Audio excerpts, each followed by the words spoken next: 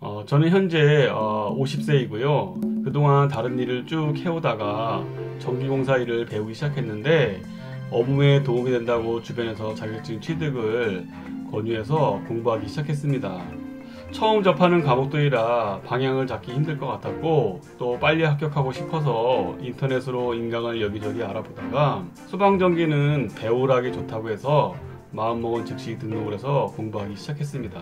어차피 공부 시작한 거 자격증 딸 때까지 공부하겠다는 마음으로 공부했는데 어, 다행히 이번 회차에서 문제도 조금 쉽게 출제된 것 같았고 운도 따라주어서 한 번에 합격하게 되어서 어, 많이 기쁩니다.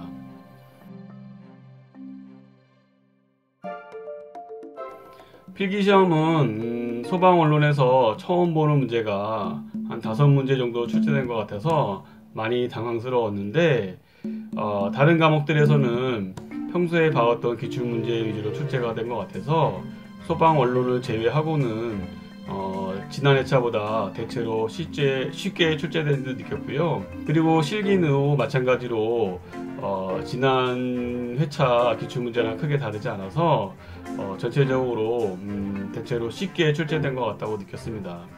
또한 이번 시험에 합격할 수 있었던 이유는 어, 다행히 이번 1회차 시험이 관연도 기출문제와 크게 다르지 않게 쉽게 출제된 게 어, 합격할 수 있었던 것 같습니다. 어, 일단 암기를 하는데 어, 수단과 방법을 가리지 않고 어, 외워야 될 것 같고요. 어, 저 같은 경우에는 어, 이렇게 암기장 같은 거 만들어 가지고 어, 틈틈이 가지고 다니면서 외웠는데 어, 이것 또한 되게 좋은 방법이라고 어, 생각이 듭니다.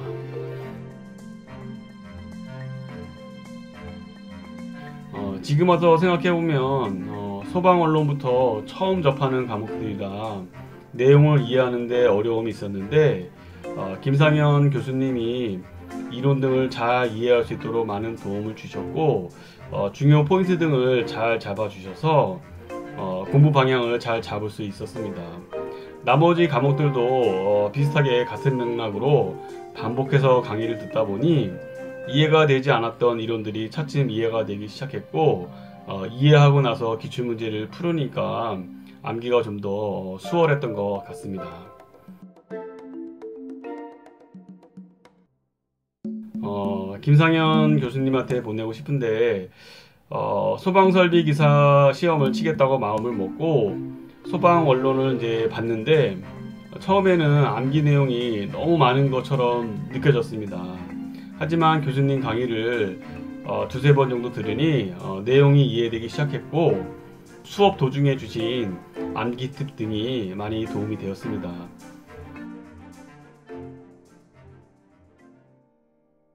어, 결론부터 말씀드리면 간연도 기출 문제를 어, 달달 외우면 합격할 수 있다고 생각을 합니다.